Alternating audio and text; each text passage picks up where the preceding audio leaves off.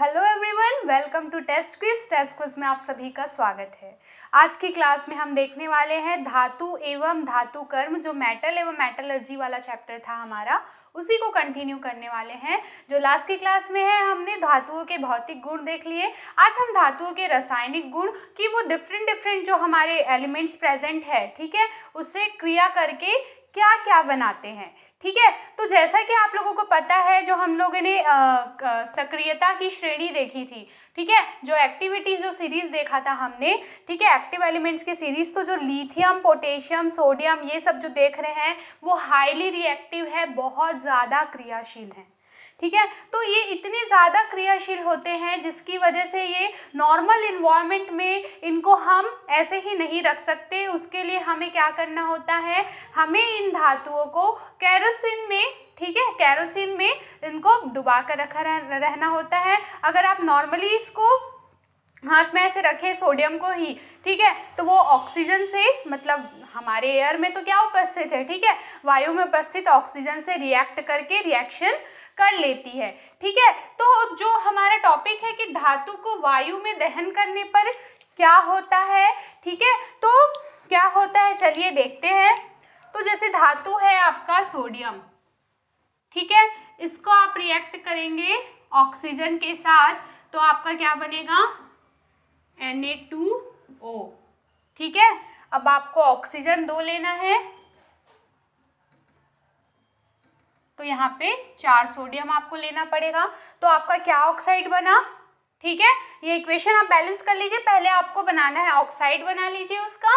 ठीक है? उसके बाद आप इक्वेशन बैलेंस कर सकते हैं। ठीक है? तो जो सोडियम है, वो ऑक्सीजन के साथ रिएक्ट करके सोडियम का ऑक्साइड बना देता है। क्लियर और इसी अगर हम लोग अगर हम इसी जो ऑक्साइड है हमारा सोडियम का, इसको अगर हम रिएक्ट करते हैं H2O के साथ, ठीक है? प्लस H2O इसको जल के साथ रिएक्ट करने पर ये क्या बनाएगा?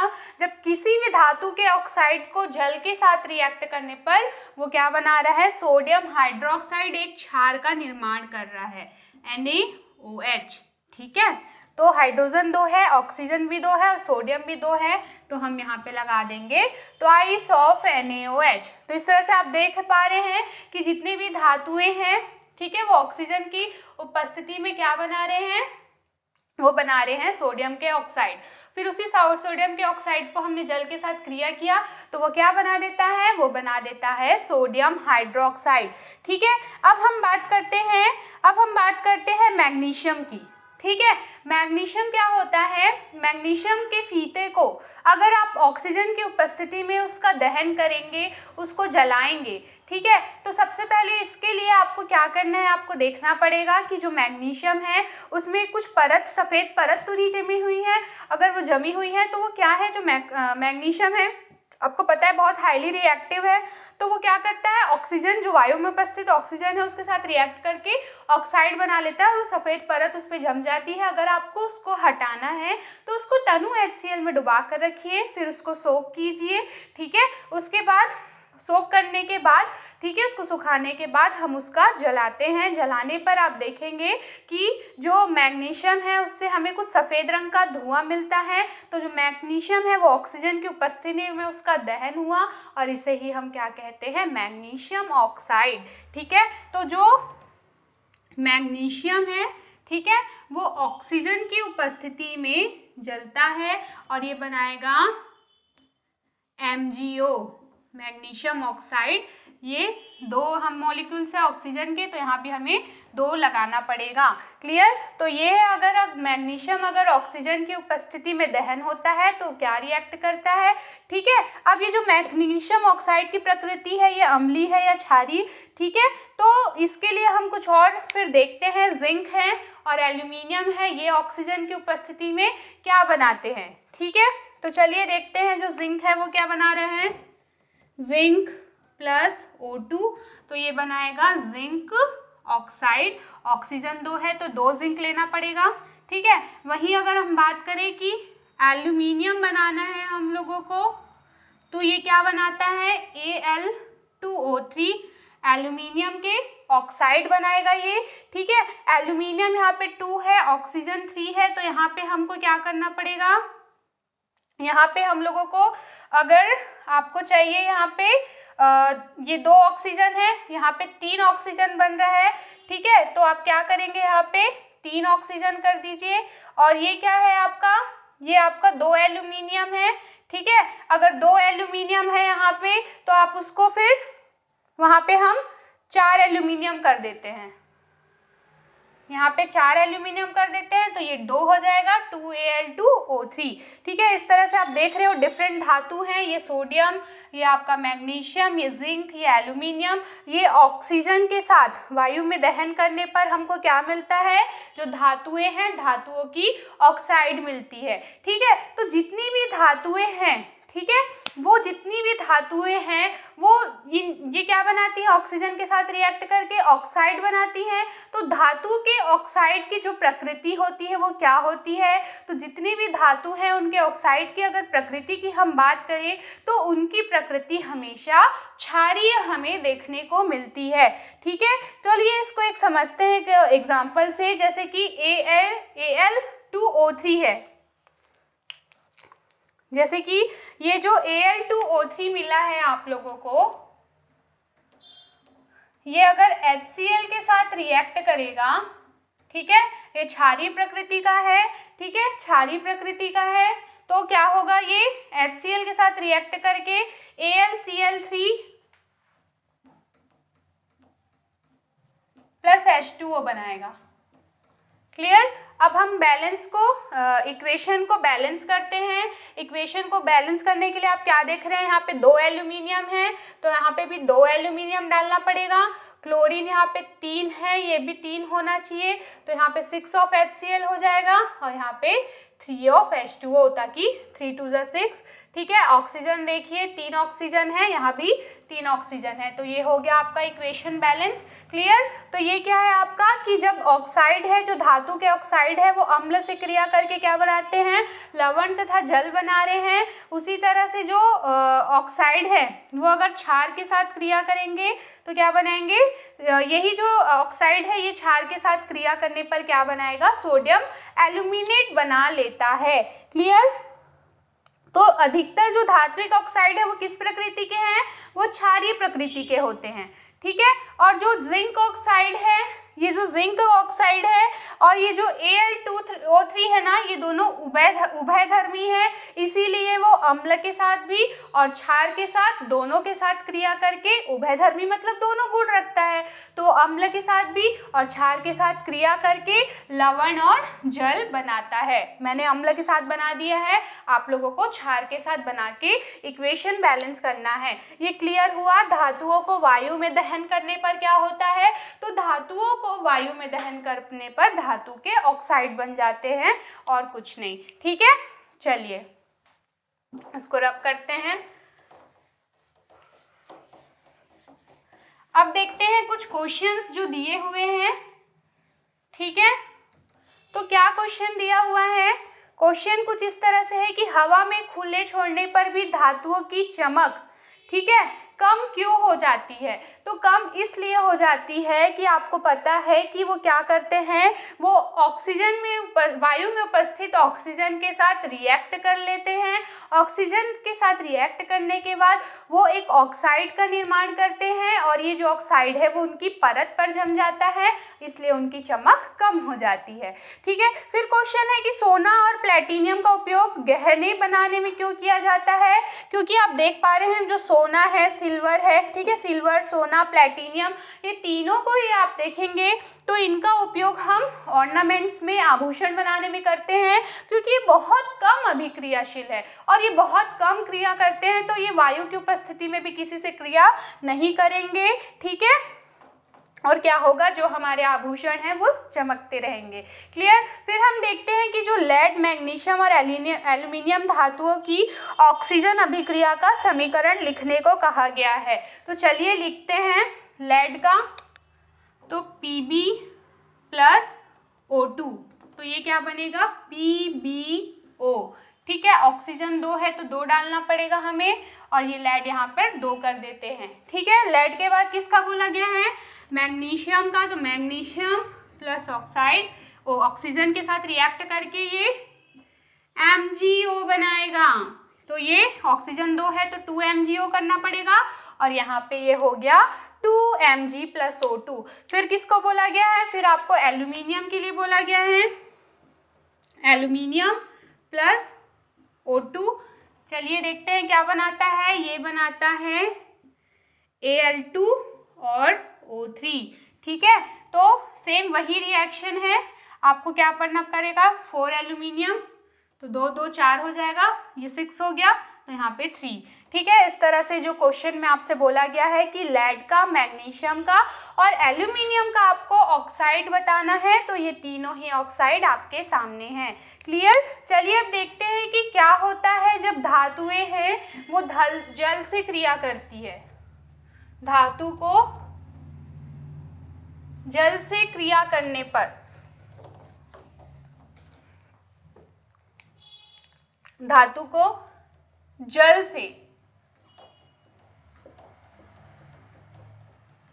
क्रिया करने पर। ठीक है? तो जो धातुएँ हैं आपकी लिथियम सोडियम पोटेशियम मैग्नीशियम ठीक है? जो जितनी भी धातुएँ हैं, वो जल से क्रिया करने के, करने पर हाइड्रोक्साइड्स का निर्माण करती है हाइड्रोक्साइड बनाती है, ठीक है? और क्या करती है? साथ ही साथ धात्विक हाइड्रोक्साइड बनाने के साथ हाइड्रोजन गैस को अत्यधिक मात्रा में उष्पन, उष्मा उत्पन्न करती है। और ये क्या है? एक उष्मा क्षेपी अभिक्रिया है, ठीक है? चलिए कुछ एग्ज़ाम्पल लेते हैं धातुओं के। जैसे कि है N A plus H two O ठीक है? तो ये क्या बनाएगा? एन ए ओ एच अब ऑक्सीजन हाइड्रोजन दो है तो ऑक्सीजन को भी दो करना पड़ेगा आप लोगों को। ठीक है? तो और सोडियम को भी आपको दो करना पड़ेगा। तो सामने में एक और आपको सो, दो सोडियम और दो H2O ले लीजिए। और NaOH के कितने बनेंगे? दो मॉलिक्यूल्स बन गए। ठीक है? और ये हाइड्रोजन गैस को रिलीज़ करता है। ठीक है? तो जो सोडियम है वो जल के साथ क्रिया करने पर हाइड्रोक्साइड का निर्माण करता है और क्या करता है? हाइड्रोजन गैस मुक्त करता है। यह एक उष्मा छेपी अभिक्रिया है। ठीक है? इसके बाद बात करेंगे हम मैग्नीशियम की। मैग्नीशियम बहुत ही आ, कम अभिक्रियाशील धातु ठंडे जल के साथ क्या करता है? बहुत मंद अभिक्रिया करता है, ठीक है? लेकिन अब इस, अगर आप इसको थोड़ा गर्म कर दें, जो पानी है वो थोड़ा गर्म हो जाए, ठीक है? ये जो मैग्नीशियम है आपका, मैग्नीशियम को अगर आप H2O के साथ थोड़ा गर्म हो तो ये भी बनाएगा मैग्नीशियम हाइड्रोक्साइड। MgOH का होल ट्वाइस प्लस ये क्या करेगा? हाइड्रोजन गैस को मुक्त करेगा रिलीज़ कर देगा। ठीक है? चलिए, जो एल्यूमिनियम जिंक और लोहा है, ठीक है? जो एल्यूमिनियम जिंक और लोहा है, ये ना ही गर्म जल के साथ और ना ही ठंडे जल के साथ वो क्रिया करती है, लेकिन अगर ये, इसमें हम लोग इसको जल वाष्प के साथ अगर क्रिया करवाते हैं तो क्या होगा? ये ज़रूर रिएक्ट करते हैं। और क्या बनाएँगे आपके लिए? आपके लिए बनाएँगे उसके ऑक्साइड्स बनाते हैं, ठीक है? धातु ऑक्साइड का निर्माण करते हैं। जैसे कि बात करें एल्यूमिनियम की, ये एस का मतलब होता है कि वो सॉलिड स्टेट में है, जो H2O है ये जी मतलब आप उसको भाप के रूप में प्रोवाइड कर रहे हैं गैसियस फॉर्म में प्रोवाइड कर रहे हैं। ठीक है? ये क्या बनाएगा? Al2O3 प्लस हाइड्रोजन गैस यहाँ से आपका क्या होगा? रिलीज़ हो जाएगा। ठीक है?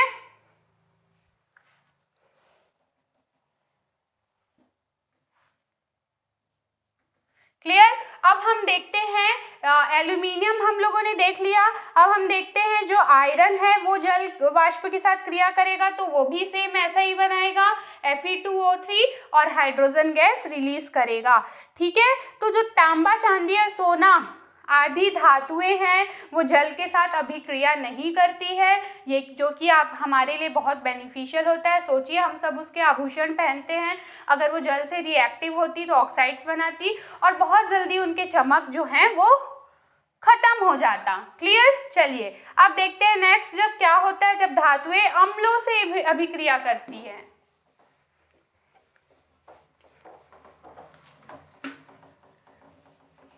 तो हमें देखना है कि जो धातुएँ हैं, अम्ल से क्रिया करने पर। ठीक है? चलिए देखते हैं जब धातुएँ अम्ल से क्रिया करती हैं तो क्या बनाएँगी?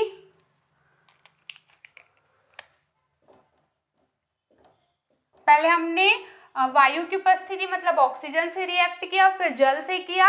अब हम कर रहे हैं अम्ल से क्रिया करने पर, वो क्या बनाएँगी? तो धातुएँ जब भी अम्ल के साथ क्रिया करती हैं तो संगत लवण प्लस क्या बनाती है? संगत लवण के साथ वो बनाती है जल, ठीक है? या फिर हाइड्रोजन गैस सॉरी मुक्त करती है, ठीक है? चलिए देखते हैं। मैग्नीशियम धातु अगर HCl के साथ क्रिया करें तो ये क्या बनाएगा? MgCl2 ठीक है? प्लस हाइड्रोजन गैस रिलीज़ करेगा ये, ठीक है? तो हाइड्रोजन गैस रिलीज़ करेगा ये, यहाँ पे आपको दो करना पड़ेगा। वहीं जिंक भी ऐसा ही करेगा। ठीक है, ये क्या बना देगा? Zn Cl2 plus hydrogen gas release हो जाएगा। क्लियर तो जो अम्ल है, वो जब भी सॉरी जो धातुएँ हैं, जब भी अम्ल के साथ अभिक्रिया करती हैं तो लवण और हाइड्रोजन गैस को मुक्त करती हैं। ये आपको हमेशा याद रखना है। ठीक है? जो क्रिया, कम क्रियाशील धातुएँ हैं ना, सोना ये जो सोना, सिल्वर, प्लेटिनियम, ये क्या है? तनु अम्ल के साथ अभिक्रिया नहीं करती हैं। ये जो सोना और प्लेटिनियम धातुएँ हैं, ठीक है? सोना और प्लेटिनियम धातुएँ हैं, ये सिर्फ़ और सिर्फ़ अम्ल राज के साथ अभिक्रिया करती हैं। सोना एंड प्लेटिनियम जो भी है, ठीक है? वो सिर्फ़ अम्ल राज के साथ अभिक्रिया करती हैं। तो अम्लराज क्या है? आप कैसे बनाएँगे? एक्वारेजिया बोलते हैं इसको। तो अगर सांद्र एच का थ्री कौन थ्री रेशियो HCL लेंगे प्लस वन रेशियो हम एच का लेंगे। नाइट्रिक एसिड का, ठीक है? तो इसकी तीन क्वांटिटी मतलब थ्री रेशियो वन जो रहेगा एचसीएल का तीन और एच का वन इस तरह से जो बना जो सॉल्यूशन होगा, ठीक है? ये दोनों ही क्या है? कॉन्सेंट्रेटेड है, सांद्र है, ठीक है? इस तरह से बना जो सॉल्यूशन होगा, वही क्या कहलाता है? वही अम्लराज या एक्वारिजिया कहलाता है, और जो सोना और जो सोना और प्लेटिनियम है, वो सिर्फ़ और सिर्फ़ अम्लराज के साथ ही रिएक्ट करती हैं। क्लियर चलिए अब हम कुछ क्वेश्चंस आपके सॉल्व करते हैं, जो कि गिवन है।